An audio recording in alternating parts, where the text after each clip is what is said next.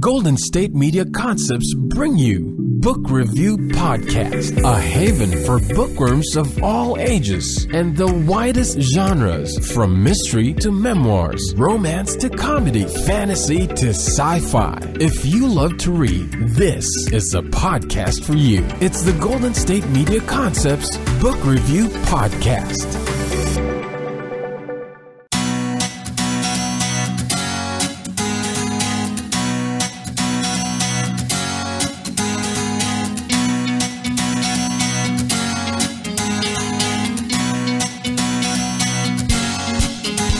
Thank you for tuning into the Golden State Media Concepts Book Review Podcast. I am your host, Sarah, and I just want to thank you for joining me. Welcome if this is the first time that you're joining me. Uh, if you're a returning listener, welcome back. I'm so happy that you're here again. So, if you um, are a returning listener and you listened last week, we talked about the Ramona Clear, the Ramona Quimby books, excuse me, um, and the Junie B. Jones series books that have um, feisty and determined and stubborn and funny female protagonists. So this week I wanted to flip that around and look at some books that have uh, male protagonists, um, young boys who are also funny and feisty and stubborn in their own ways. And I don't like to necessarily. Um, make this a binary distinction that these are, you know, last week's were girl books and this week's are boy books because I think that um, children of both genders um, could get enjoyment and learning out of these books. I think there's a lot to, to, be said for reading books that are about, you know, if you're a young woman, you read a book about a, a boy and get a different perspective, and vice versa. But I did want to look at some books that have those um, male protagonists. And so this week I want to look at um, a series and then two other books. And the series is The Fudge Books by um, Judy Blume, uh, then How to Eat Fried Worms by Thomas Rockwell, and finally um, Max Crumbly. It's actually Max Crumbly Locker Hero, and that is by Rachel Renee Russell. So we are going to jump right in with that first series, uh, The Fudge Books by Judy Blume. And this was a series that I read as a kid and just thought was absolutely hilarious, hysterical. Um, the books consist of Tales of a Fourth Grade Nothing, otherwise known as Sheila the Great, Super Fudge, Fudgemania, Double Fudge. So there's five books, and they are called the Fudge books.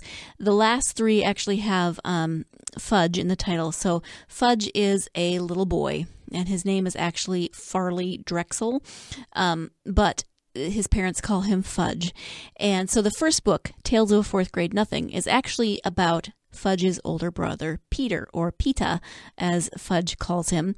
And um, Peter is in fourth grade, and Fudge is a toddler, a very precocious toddler, a toddler who manages to get himself into all sorts of crazy things. And so Peter is just spending his fourth grade year uh, just eye rolling to high heaven because he has to live with this little brother who's just so annoying and and Fudge is hilarious, but I can also see you can also see Peter's side of it. That second book, otherwise known as Sheila the Great, um, isn't about that same family, except that it kind of is. So Sheila lives in the same apartment building as Peter and Fudge in New York. Uh, they are they are city kids. And they live in New York City, and she lives in the same apartment building. And she and Peter are kind of frenemies because they are thrown together because they're in the same class, they live in the same building, etc. And so they're constantly being thrown together and, and sort of pitted against one another in, in context of the storylines. But this second book um, is from Sheila's perspective. So actually, we do have another book um, with a female protagonist this week, but the majority of them uh, have Peter and Fudge as the, the main characters. But uh, this story also deals with Peter and Fudge and uh, both of their families coming together. Um, actually, it's more about Sheila the Great. There's another story where both families come together. I apologize.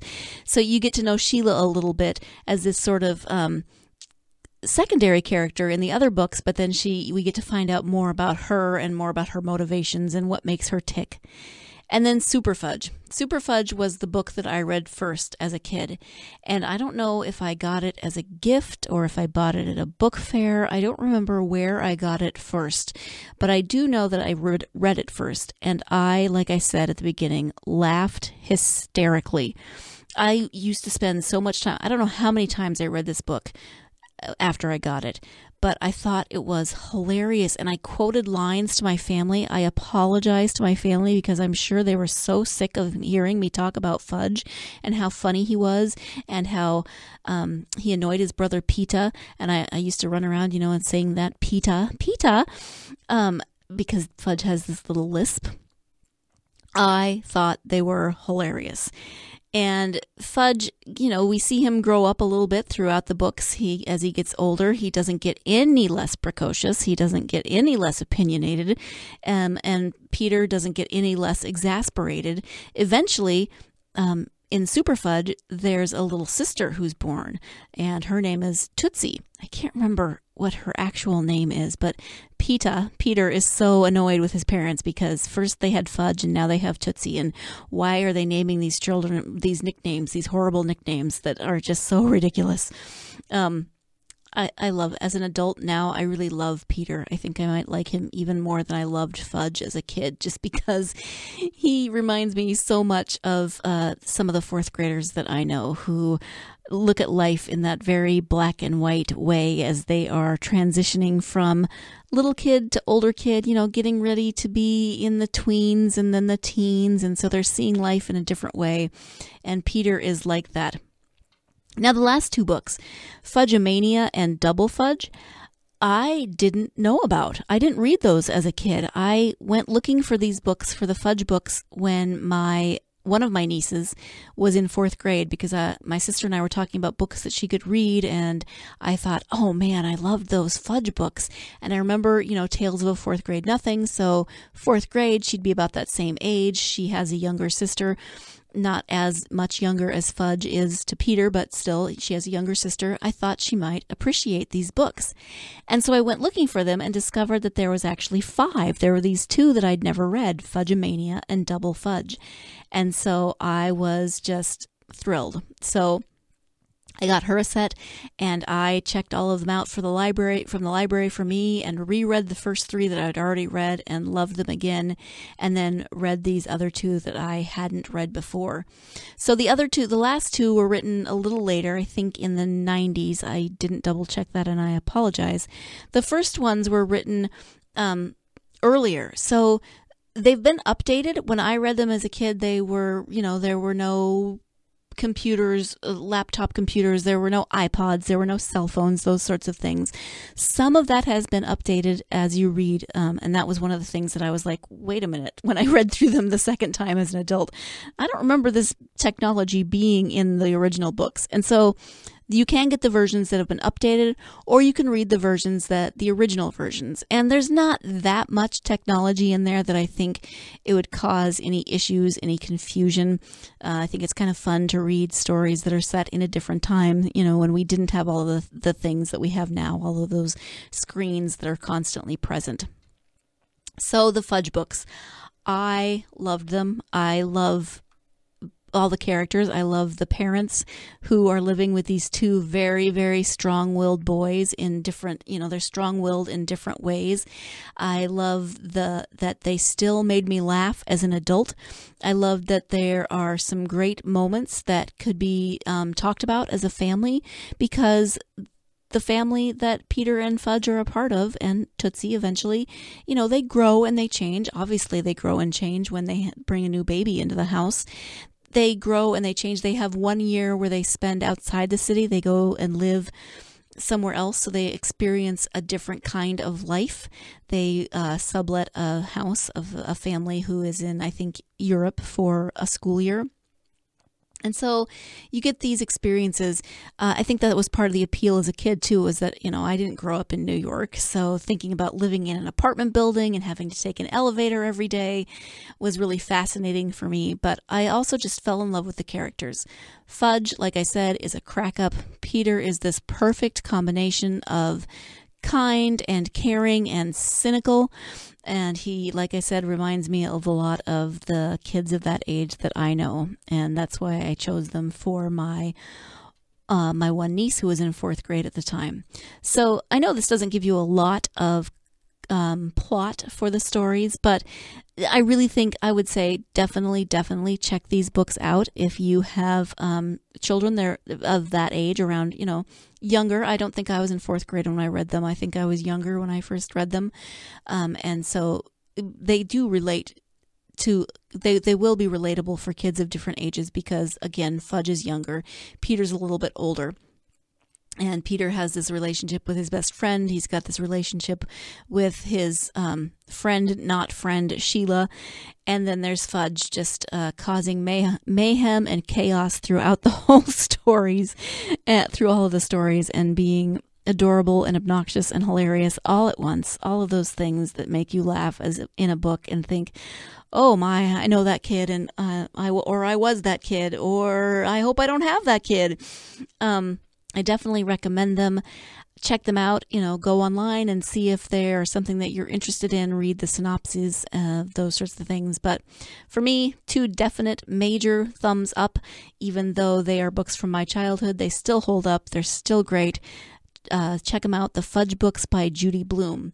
And with that, we are going to take uh, our first break. And when we come back, we'll be talking about How to Eat Fried Worms by Thomas Rockwell. Stay tuned always on the go, but the day just won't be one without your Hollywood fix. Let Golden State Media Concepts Entertainment Podcast take care of that. Jordan and Keith is Entertainment Tonight meets Access Hollywood. I'm Jordan. The guy laughing, that's Keith. yeah, I'm Keith. An all inclusive look of pop culture.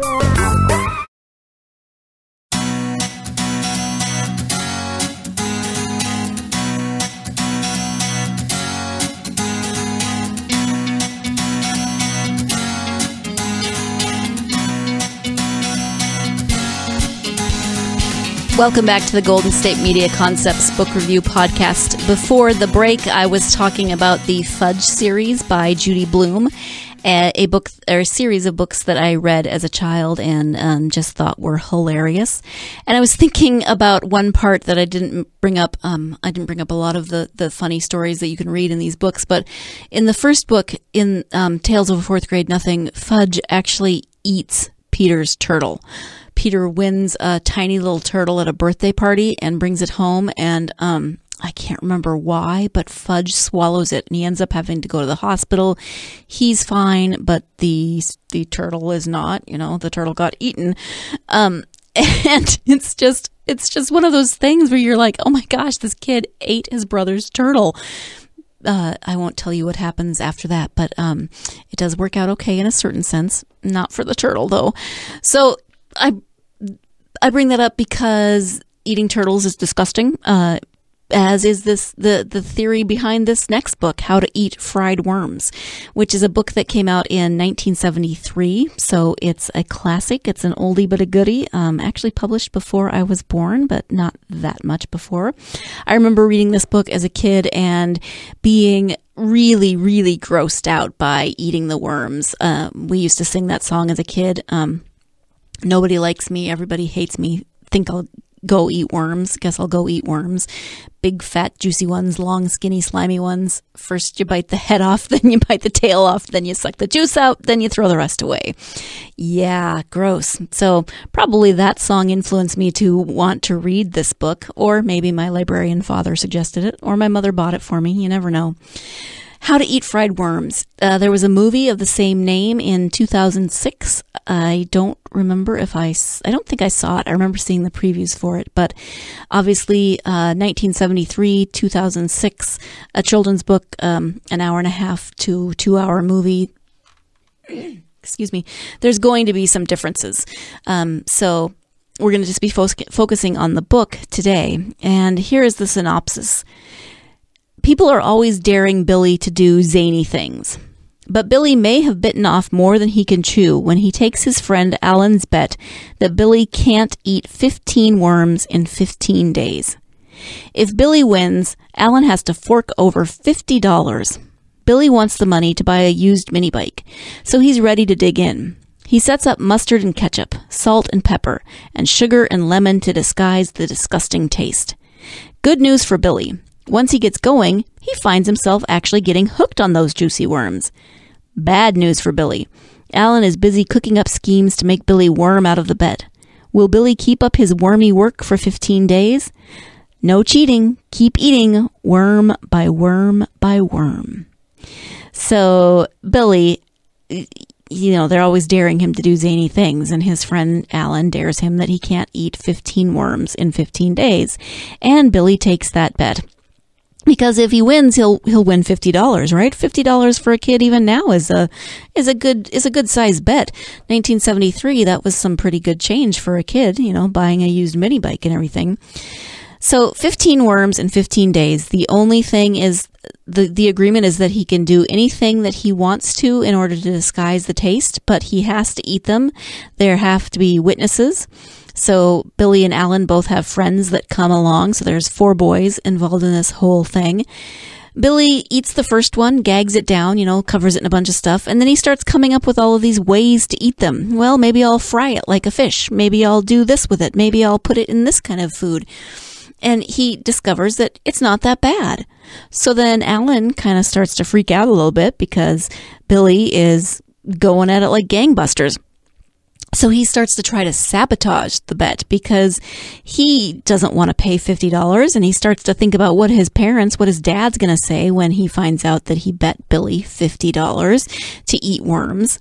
So you can see where this you know, is going to get very silly very fast. So there's the bet, there's the eating of the worms, there is the trying to sabotage the eating of the worms, and then there's also the dynamics of these young boys' friendships. So they are, um, about about the same age as Peter in in the Fudge books, you know, maybe fourth grade, fifth grade, around there.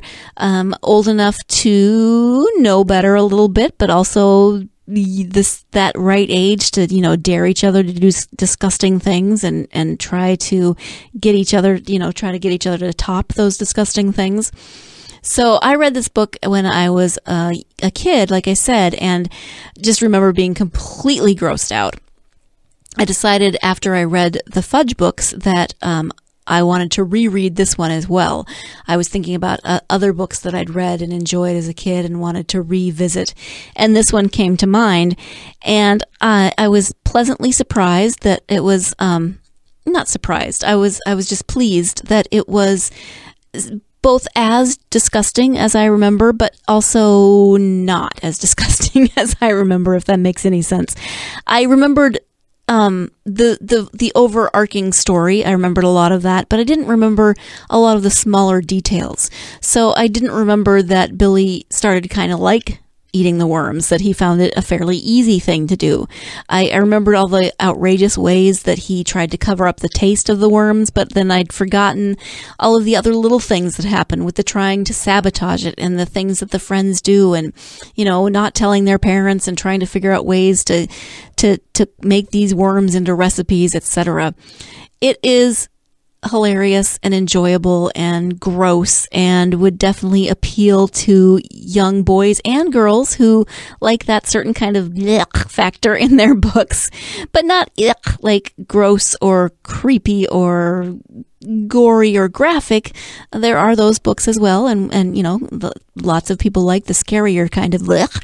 This is just good old plain fun kind of blech, and um I'm really glad I'm not transcribing this podcast because I have no idea how to spell and I've now said it like 15 times in a row. How to Eat Fried Worms by Thomas Rockwell is a really, really fun book, and I highly recommend it for your kids. Uh, the Amazon says grade levels three through seven, age level eight through 12. So that gives you a, an idea of the ages that your kiddos might be to enjoy this book. Definitely uh, a fun book that they can read on their own or you can read as a family. Uh, good way to get into those conversations about hey, why why don't we do everything that our friends suggest that we do? Or um, how would you have reacted to this situation? You know, great for family discussions. Um, or maybe you could come up with your own recipes for fried worms. If you do, uh, I don't really want to hear about it, especially if you eat them. So, How to Eat Fried Worms, another book that I highly recommend. Another book with uh, strong, silly, stubborn boys at its very center. Check it out. It's by Thomas Rockwell. We're going to take our second break, and when we come back, we will be discussing uh, the book Max Crumbly Locker Hero. Stay tuned, and we will be right back. Tired of searching the vast jungle of podcasts? Now listen close and hear this out. There's a podcast network that covers just about everything that you've been searching. Hey! The Golden State Media Concepts Podcast Network is here. Nothing less than a podcast bliss with endless hours of podcast coverage. From news, sports, music, fashion, cooking, entertainment, fantasy, football, and so much more. So stop lurking around and go straight out to the Golden State Media Concepts Podcast Network. Guaranteed to fill that podcast itch.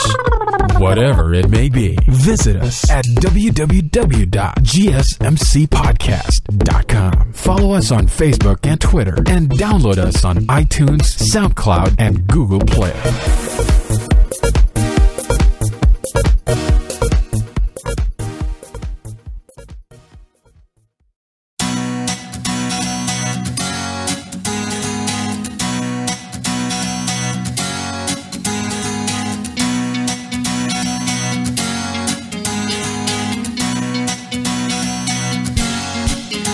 Welcome back to the Golden State Media Concepts Book Review Podcast. Before the break, I was talking about the book How to Eat Fried Worms by Thomas Rockwell.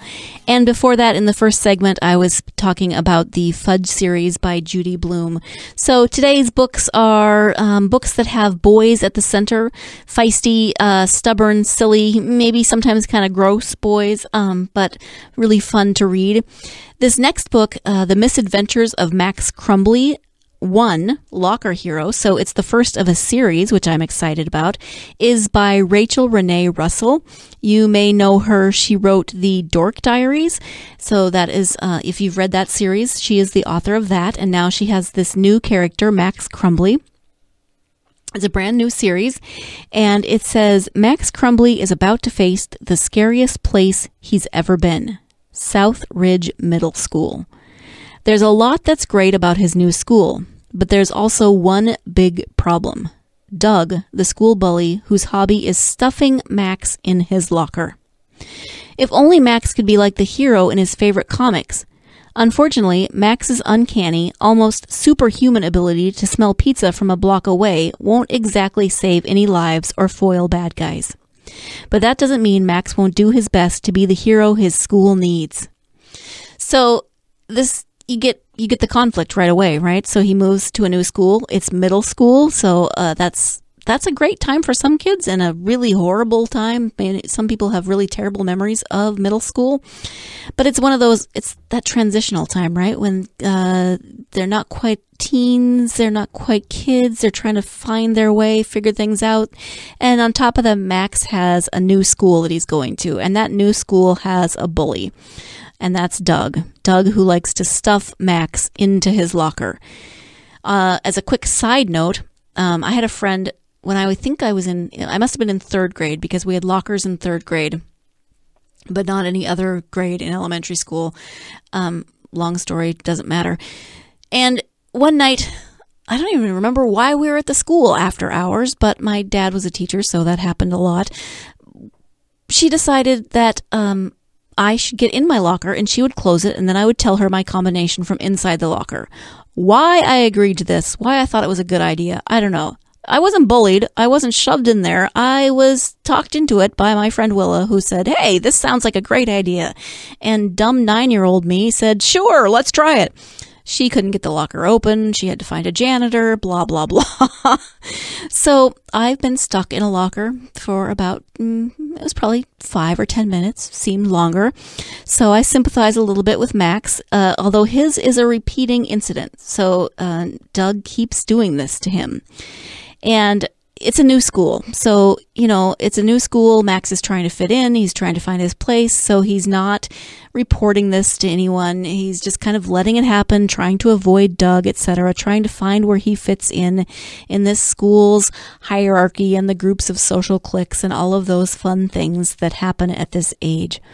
But unfortunately, when this book takes off, Max is stuffed into his locker on Friday afternoon, and he is there, and he thinks he's going to be stuck there over the weekend. This is not a good thing. I was in that locker for what felt like forever, but was only a few minutes, 10 at most, and that was enough.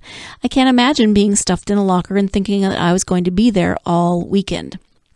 He tries to gain the attention of someone. He tries to gain the attention of the janitor, but the janitor is wearing headphones, earbuds, so he can't hear Max in the locker. Eventually, Max figures out a really clever way to get out of the locker. And I'm not going to tell you what it is, but it leads to some other adventures that he has in the school, some encounters that he has in this uh, supposedly empty school that is not as empty as one might think. And he ends up encountering the girl that he likes. So there's some interaction there. There's some um, some developing of a friendship, a possible friendship, maybe maybe a little romantic interest. Uh, you know, we're not sure. And it doesn't fully wrap things up. This is a series, and so I'm really excited to find out what's going to happen next, what's going to happen next in Max's adventures as he is the locker hero. So I like this book. It's a it's a little older than the first couple of books that I talked about. You know, it does have a protagonist who is in middle school. I'm looking on Amazon and they're saying grade level 4 through 8 and 9 through 13. So just a little bit older than um, what we were talking about before with the Fudge series and how to eat fried worms, but still um, a great, you know, if you, uh, at the older ages, you may not still be reading with your kids, but if you read as a family, this would be a great one to read because it's funny, it's engaging, but it's also great, I think, for uh, boys and girls to read, you know, because it does deal with some of those issues that happen in these grades. You know, it's recommended for four through eight. The, the issues of bullying, the issues of fitting in, the issues of, being the new kid, and also uh, really good things about figuring out different ways of approaching a problem, um, learning to maybe ask for help from someone that you didn't think could be helpful, learning how to. Um, well, get out of your locker. I, I really hope that your kids uh, don't get stuffed in a locker and have to figure that out. But looking at problems from different ways, I think this is a great book that addresses that. Um, so, Rachel Renee Russell wrote The Misadventures of Max Crumbly, Locker Hero. I think it's a great, fun read. I highly recommend it. I'm really excited for the next ones. I don't see when the next one might be coming out, and maybe I'm just not looking at the sa- at the right place. If you know that, then um, I would love to hear. You can catch me on social media. Uh, it also makes me want to read Oh, hey, look at this. The Misadventures of Max Crumbly 2 Middle School Mayhem. How did I not see that? I was looking right at it. And it is out. So I have led you astray saying that the second one is not out. I apologize for giving you bad information. The Misadventures of Max Crumbly 2 Middle School Mayhem. I will be checking it out. I hope you will check it out. And um, that is all the time that we have for today. Thank you so much for joining me as we discussed these books. We discussed The Fudge series by Judy Blume, How to Eat Fried Worms by Thomas Rockwell, and The Misadventures of Max Crumbly, Locker Hero. That's the book, the first one in the series, and that is by Rachel Renee Russell. Thank you again for joining me. I hope you'll join me again next time as we talk about more books, uh, do more book reviews, have another book discussion. As a reminder, you can find all of the Golden State Media Concepts podcasts at www.gsmcpodcast.com. You can download all of our podcasts on iTunes, Google Play, and SoundCloud. You can also find us on Facebook uh, or on social media, Facebook being one of those. You can find us and follow us on social media. I'd love to hear from you. Uh, I'd love to hear your favorite books. I'd love to hear if you've read any of these books and what you thought of them. I'd love to hear suggestions for books that you'd like me to talk about. So you can find me and follow me on Facebook, Twitter, Tumblr, Instagram, all those uh, good social media sites. Again, Thank you for joining me. Join me again next time for more book discussions. But in the meantime, go out and get yourself lost in a good book. You've been listening to the Golden State Media Concepts Book Review Podcast part of the Golden State Media Concepts Podcast Network. You can find this show and others like it at www.gsmcpodcast.com. Download our podcast on iTunes, Stitcher, SoundCloud, and Google Play. Just type in GSMC to find all the shows from the Golden State Media Concepts Podcast Network. From movies to music, from sports to entertainment, and even weird news. You can also follow us on Twitter and on Facebook. Thank you, and we hope you have enjoyed today's program.